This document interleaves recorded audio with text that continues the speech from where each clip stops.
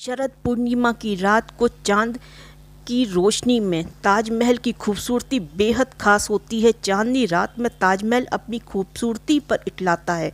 इस खास मौके पर चाँद का की खास रोशनी में ताज का दीदार करने के लिए सैलानियों ने खूब मशक्क़त की होती है।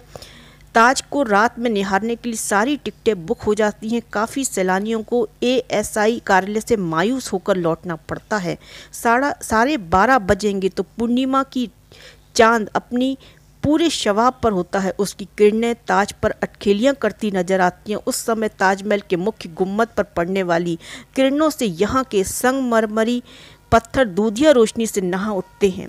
साथ ही गुम्मद में लगे अन्य पत्थर भी चमकने लगते हैं। हालाँकि पर्यटकों के लिए 12 बजे आखिरी स्लॉट होता है, इसलिए उन्हें इस नयनाभिराम दृश्य का दीदार करने का मौका नहीं मिल पाता। फिर भी मंद मंद रोशनी में ताजमहल आम दिनों की अपेक्षा रात में शरद पूर्णिमा की रात पर अलग ही दिखाई देता है। इस खूबसूरत दृश्य को देखने और अपने अपने कैमरों में कैद करने के लिए भारतीय और विदेशी पर्यटकों ने सारी टिकटें बुक करा ली होती हैं। सभी 400 टिकट बुक हो जाती हैं, यानी आठों स्लॉटों में पर्यटक ताजमहल को शरद पूर्णिमा की रात को निहारने पहुँचते हैं।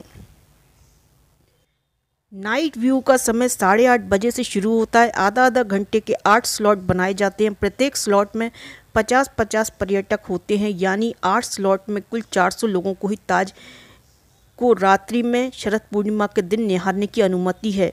उस पर भी ताजमहल को रात में sand red sandstone platform से ही निहारने की अनुमति दी जाती है। उससे आगे कोई भी पर्यटक नहीं जा पाता। सैलानियों को शिल्प ग्राम में एकत्र कर बैटरी चालित बस से सुरक्षा घेरे में ताजमहल के पूर्वी गेट पर लाया जाता है। इसी गेट से प्रवेश दिया जाता है।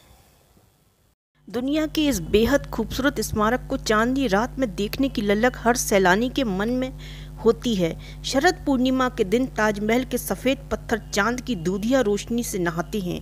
ये नज़ारा चमकी कहलाता है। पाँच दिन संगमरमरी ताजमहल की झलक पाने के लिए सैलानी बेचैन रहते हैं। शरद पूर्णिमा की चाँद की रोशनी जब ताजमहल के संगमरमरी हुस्न पर पड़ती है तो देखने वाले टकटकी लगाकर बस ताज का दीदार ही करते रह जाते हैं। दूधिया रोशनी में ताजमहल की खूबसूरती देखते ही बनती है। शरद पूर्णिमा पर चाँद ने जब ताज पर किरण डालता है तो चमकी देखने वाले सैलानियों के मुँह से बस बरबस ही निकल पड़ता है, वह ताज। फतेहबाद रोड पर स्थित होटलों में आगरा के होटलों में ताज की चमकी देखने के लिए पर्यटकों का जमावड़ा लग जाता है। लोगों को होटलों से ही चमकी दिखाई जाती है ताजमहल की खूबसूरती, यानी वही ताज के आसपास रहने वाले छतों से चमकी देखते हैं। चमकी देखने के लिए ताज के आसपास के घरों में बाहरों, बाहर से मेहमान आ जाते हैं।